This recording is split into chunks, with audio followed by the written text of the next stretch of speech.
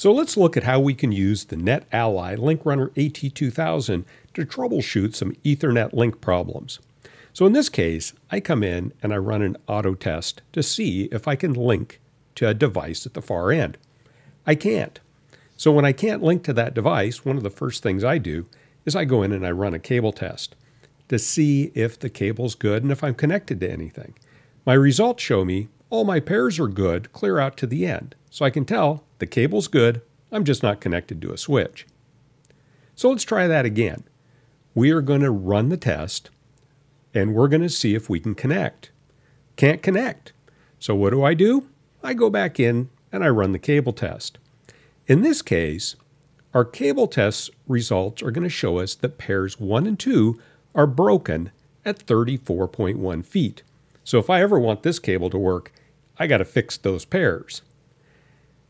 Fixed the pairs, connected it to the switch, still no link. I run my auto test, nothing. So what is going on here? I know my cable's good because I tested it before. I connected it to the switch. So I come in here and I run my cable test. My cable test comes back and what it shows me is that I am connected to the switch, but it's not powered on.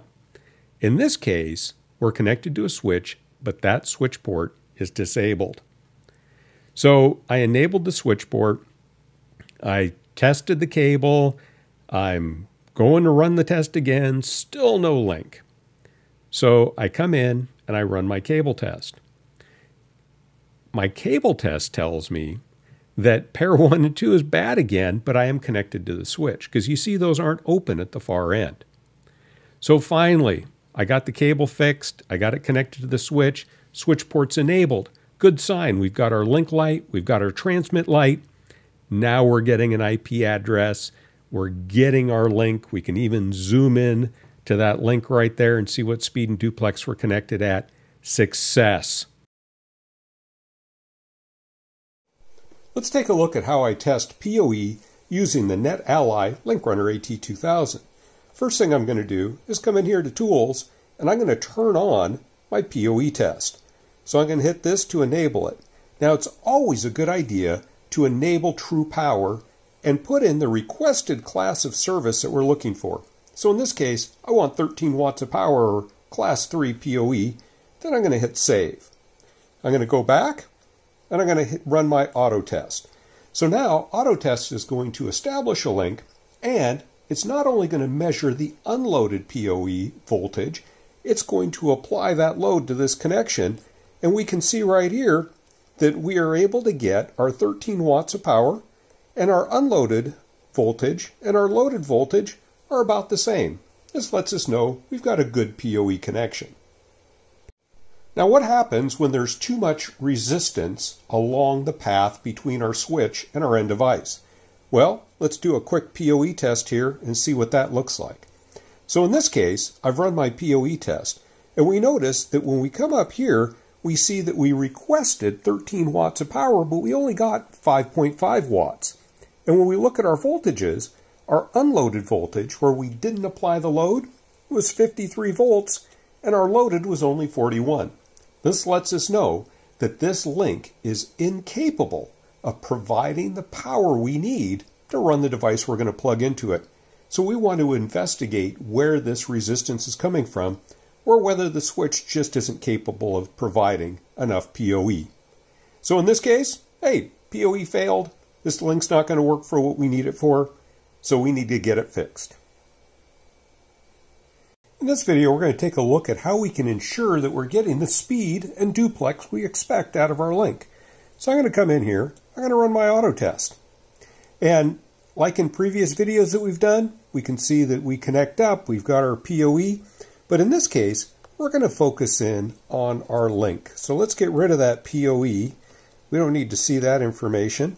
We're going to come down here, and this tells us that our receive pair is normal, our polarity is normal, our level's normal, and most importantly, right here, it's telling us that the switch is advertising it can do 10, 100, or gig half or full duplex. This tells us that the switch is auto-negotiating and it's capable of doing up to 1 gigabit per second. Now I've moved over to a port that isn't performing as well. So let's go in and run our auto test on this port and see what's going on with that. So we're going to go ahead and we're going to hide that PoE again. We're going to come down here and expand our link. Now, in this case, it tells us up there at the top that this is this port is doing 100 half duplex. Well, here's the crazy thing. I know that that port was set to 100 full. So switches stop advertising their speed and duplex when we force the speed and duplex. This goes to half duplex when it doesn't see that auto negotiation.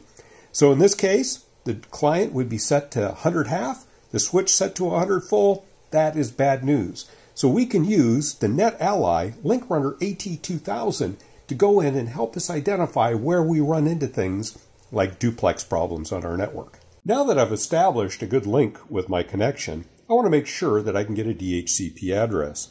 So I'm going to come in, I'm going to run an auto test. We can come down, we can look at our IPv4 DHCP.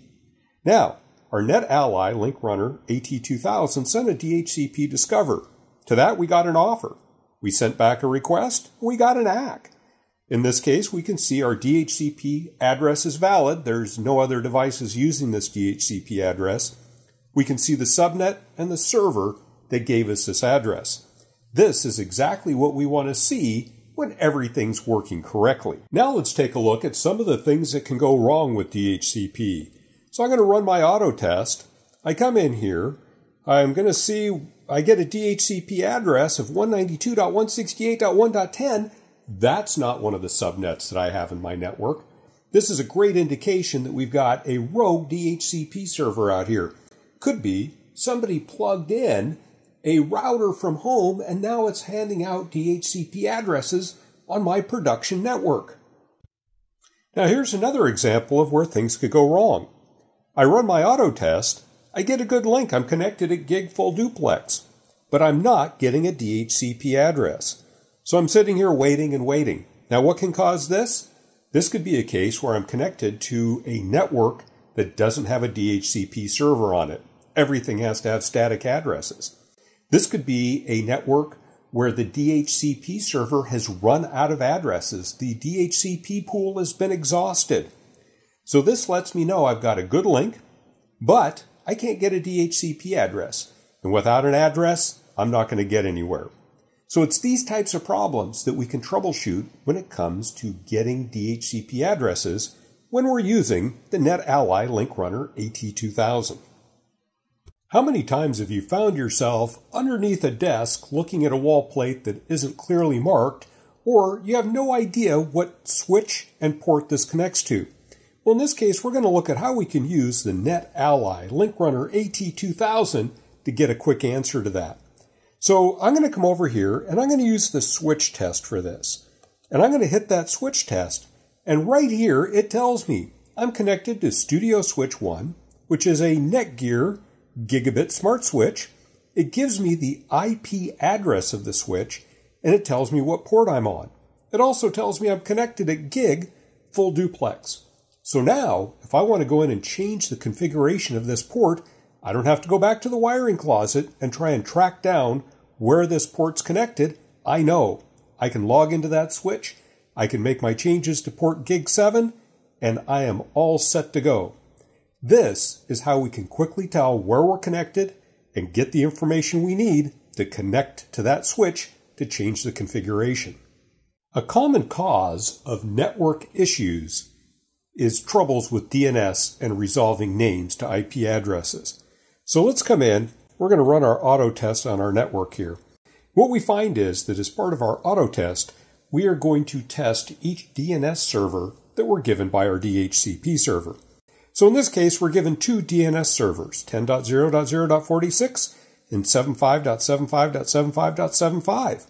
When we look at our results, we see that our test going out to 10.0.0.46 failed. This indicates that we're having trouble communicating with this DNS server. When it comes to resolving names, this can result in timeouts and slowdowns when we're trying to use the network. So it's key that when we go in and test our network, we ensure that all of our DNS servers are working properly, and if they're not, we troubleshoot it and figure out what's going on. So this is how we can use the NetAlly LinkRunner AT2000 to validate that our DNS servers are working properly. Just because I get a link and a DHCP address doesn't tell me I can get to those key resources I need to get to to get my job done. So in this case, we're going to look at how we can configure the NetAlly LinkRunner AT2000 to test those resources. I'm going to come down here to Tools. I'm going to go to my Auto Test Configuration. Here is where I can enter IP addresses and DNS names of those key resources. If I put in a port number, it's going to do a TCP SYN connection to those devices. If I leave that out, it's just going to do a ping. So let's go in and run an auto test and test our connectivity. So after we establish our link, we get an address, we're going to go in and start testing the connectivity to each of those resources. So as we come down here, we can see that we can get to NetAlly, we can get to my email server, both on the SMTPS and the IMAPS ports. I can get out to Google, and, oh, let's go back to targets again, and I can get to my IPPBX. So this lets me know that I can get to all those key resources I need to get to. I know everything's working fine. This is how I can use my NetAlly LinkRunner AT2000 to validate connectivity to key resources.